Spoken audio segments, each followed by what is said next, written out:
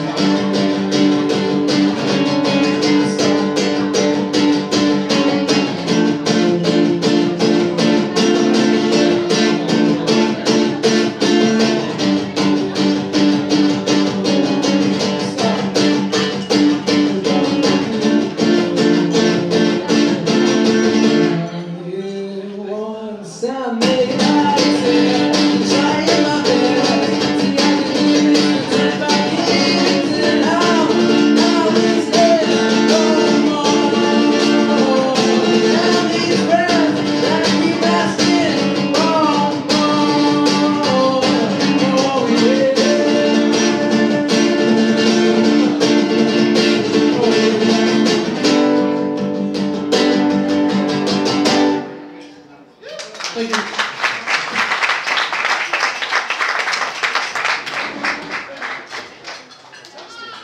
One more time for Russ, that was awesome.